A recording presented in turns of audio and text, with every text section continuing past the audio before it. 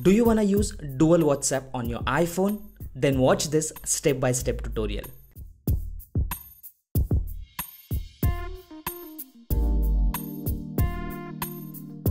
Hello friends. Firstly, you want to head over to App Store and search for WhatsApp Business. Now select the app and download it. It's an official WhatsApp app for business people, but you can use it for your personal use with your second phone number even if you don't run any business. It is completely a free app. So let's launch the app. Hit agree and continue. Now it has detected my phone number from this current iPhone and it understands that my current phone number is already being used on normal WhatsApp Messenger.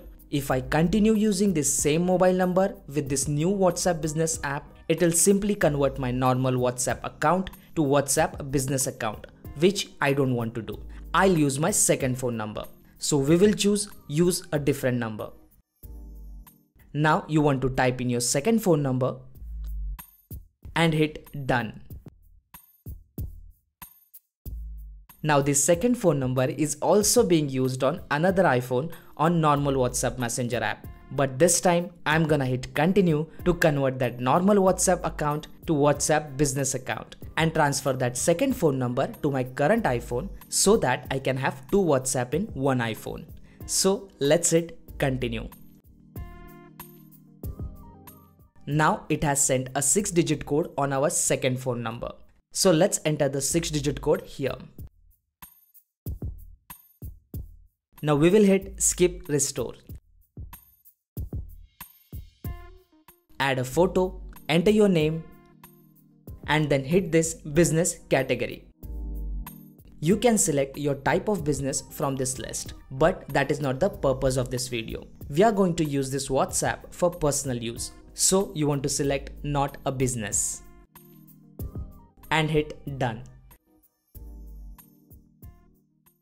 And there you go. Here is your second WhatsApp. It has all the features that normal WhatsApp Messenger offers, including status, WhatsApp calls, chat backup, everything.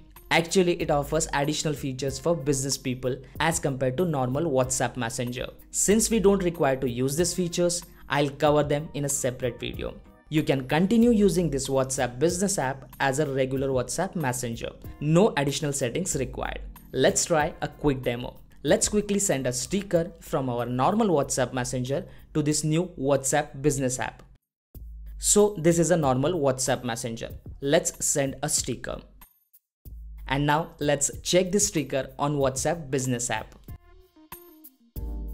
And there you go, working perfectly. So that's how you can use dual WhatsApp in iPhone.